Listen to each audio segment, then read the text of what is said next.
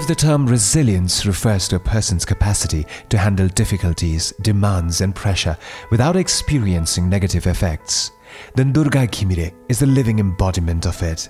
The senior social worker and a renowned human rights activist has experienced remarkable turn of events in her life only to emerge victorious. From her college days, Ghimire was active in the political movement for the restoration of democracy in Nepal.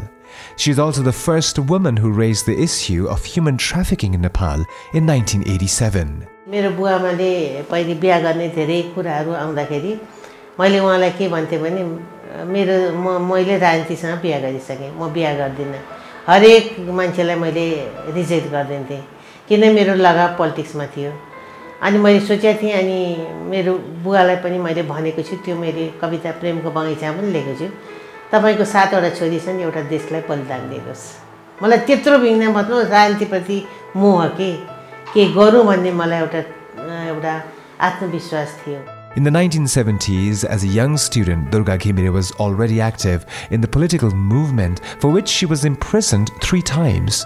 She has spent 13 months in the prison for political activities. कलेजमा पढ्दाखेरि त्यतिखेर Narayan Singh DIG कान दुई हजार चौबिस सालमा। अब सारा त्यहाँ दुई सयभन्दा बढी विद्यार्थीहरू चाहिँ एरेस्ट भएको थियो नेपालभरि। अनि त्यतिखेर चाहिँ जुलुस लाग्नु हुँदैन भनेर गभर्मेन्टले एनाउन्स गरेको थियो। मलाई जुलुस लिड गरेर गएको। सात डन्ठा पनि हान्यो पुलिसले। मैले चाहिँ के सोचेको थिएँ महिलालाई चाहिँ कुर्दैन भन्ने मेरो एउटा धारणा थियो अघि। तर यसरी कति भने छ महिनासम्म त्यो मेरो त्यो निलो दाग हातमा हुन्छ नि त्यो गएन।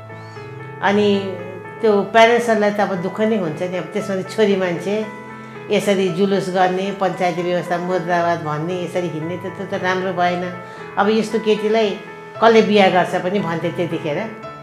अनि लास्टमा चाहिँ म तेस्रोचोटि जेलबाट फर्किएर आएपछि चाहिँ अनि मैले वास्तवमा मैले काम पनि गर्नुपर्छ भनेर सोचेर मैले ट्राई गरेँ ठाउँ ठाउँमा मैले कहीँ पनि जागिर पाएन किन भन्दा त्यतिखेर पञ्चायतमा लागेको व्यवस्थालाई हटाउनलाई त्यो सङ्घर्ष गरेको त त्यतिखेर अराष्ट्रिय तत्त्व भन्थे कहीँ पनि दिएन अनि त्यसपछि मैले घर छोडेर भागेर ल पढ्न आएँ काठमाडौँमा किनभने मैले ल पढेँ भने त म स्वतन्त्रमा पेसा गर्न सक्छु After college, she did try to settle down but couldn't get any job because she was already blacklisted for revolting against the state.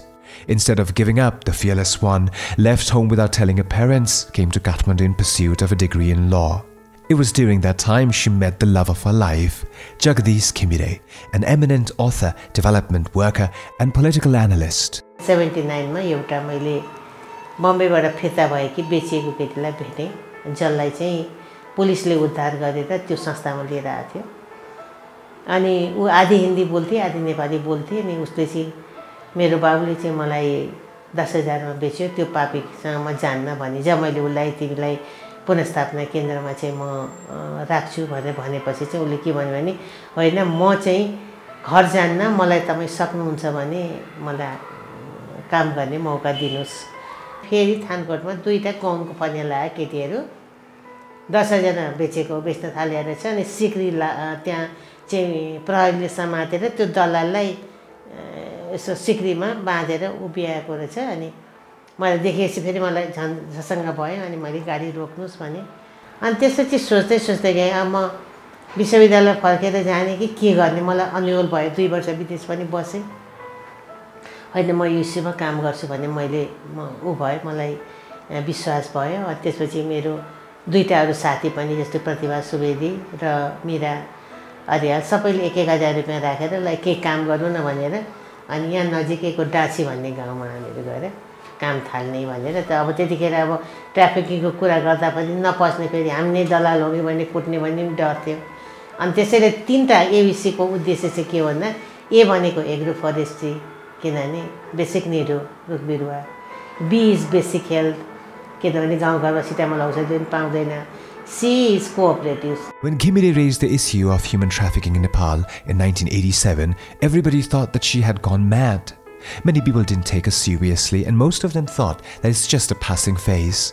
But Durga Ghimire kept on working hard. Today, ABC Nepal has rescued and rehabilitated countless trafficked women and children and has successfully organized the national convention related to trafficking. त्यो यो राष्ट्रिय एजेन्डाको विषय थिएन अब अहिले चाहिँ भनौँ न महिला मन्त्रालयले पनि एक्टिभली काम गरिरहेछ धेरै इन्टरनेसनल दातृ संस्थाको पनि यसमा चाहिँ सहयोग छ मिडियाले पनि यो विषयलाई प्रायोरिटी दिएको छ। एउटा आर्टिकल लेखेको थिएँ। नेपालमा चेलीबेटी बेचबिखन र यसले महिलालाई पारेको प्रभाव कसैले छाप्दै छैन बाइस दिनसम्म। छाप्नलाई पनि मैले सोच लगाउनु पऱ्यो मेरो श्रीमानको। अनि उहाँले गरेर त्यो छाप्न लगाउनु भयो। अहिले त मेरो छापिन्छ। तर पहिले पहिले त्यस्तो पनि त्यो प्रायोरिटी थिएन। अब अहिले चाहिँ भनौँ न मिडियाले चाहिँ यसलाई प्रायोरिटी दिन्छ। रेडियोहरूमा प्रोग्रामहरू बज्छ। अनि प्यारेन्ट्सहरू कन्सियस भएको छ भन्दाखेरि अहिले चाहिँ परिवेश अलिकति धेरै चेन्ज भएको जस्तो मलाई लाग्छ Education is definitely a preventive tool as well as a rehabilitative measure, but it cannot work alone, says Kimire. The government should enact good laws and enforce them with urgency and professionalism to ensure that women and children are protected against all forms of discrimination. And for that, the value of building positive public awareness is of utmost importance, for it's the mantra to the success of any initiative. गाउँमा जाँदा पनि भन्थेँ मसँग हात मात्रै छ तिम्रो हात चाहिन्छ होइन त्यसैले चाहिँ अब जनताको चाहिँ के आकाङ्क्षा हुँदो रहेछ भने औ यो पैसाको मुठो बोकेर आयो यसले यसो गरिदियो हुन्थ्यो स्कुल बनाइदियो हुन्थ्यो बाटो बनाइदियो हुन्थ्यो सबै त्यो भन्थ्यो कि। अनि म मैले चाहिँ के भन्थेँ होइन तिम्रो हातको साथ चाहिन्छ मलाई। त्यति गर्दै गर्दै गर्दै कन्भिन्स गएर र अहिले हामीले जति पनि काम गरेका छौँ जिल्ला जिल्लामा जस्तो मैले रूपन्देही नवलपरासी पिपलको साथ हात छ कि। जस्तो हामीले त्यो गाउँलाई नवलपरासीको एउटा पक्ली हावा भन्ने गाउँमा हामीले चाहिँ त्यो चाइल्ड म्यारेज एकदमै कमन भएको ठाउँमा त्यसलाई चाहिँ हटाउनको निम्ति के गर्ने भनेर एउटा कमिटमेन्ट सबको लियो। दस हजारभन्दा बढीले त्यसमा सही गरेर प्रतिबद्धता जनायो गाविसको अध्यक्षदेखि लिएर होइन अब त्यसको चाहिँ असर अरू जिल्लामा पनि पर्छ नि त्यसैले मलाई लाग्छ अटो त्यो इच्छा शक्ति र एउटा त्यो भएन भने चाहिँ हामी केही पनि गर्न सक्दैनौँ During a brief stay in England, Durga Kimire also got the chance to work for BBC Nepali service. For her, writing is the cathartic process that helps her express her emotions. Published in 1994, Staying Alive Memories of Women Prison was greatly appreciated by readers and critics alike. Her recent work includes Unko Samjana, a book dedicated to her late husband, and Prem Ko Bagaita, a collection of poems. मान्छेले सोचेका थिए कि म यति continue जस्तो मेरो श्रीमानको डेथपछि म कामै पनि गर्दिनँ कि किनभने धेरै म एट्याचमेन्ट थिएँ मेरो श्रीमानसँग मेरो भनौँ न हाते बाँचे जस्तो भयो एक किसिमले तर मैले सोचेँ कि अब यो बितेको कुरा त फर्किएर आउँदैन। त्यसैले मैले भने जति सक्यो म काम गर्छु बिजी हुन्छु धेरै सङ्घ संस्थामा धेरै काम गर्छु भनेर मलाई एउटा उत्प्रेरणा जस्तो नै भयो। किनभने उसले जहिले पनि मेरो श्रीमानको प्रेरणा नै मलाई यस्तो थियो कि तिमी जहिले पनि काम गर काम गर काम गर्दाखेरि सेटिस्फ्याक्सन पनि हुन्छ। तिमीलाई खुसी लाग्छ जुन काम तिमी गरिरहेछौ। Durga Ghimire sees immense potential in today's youth.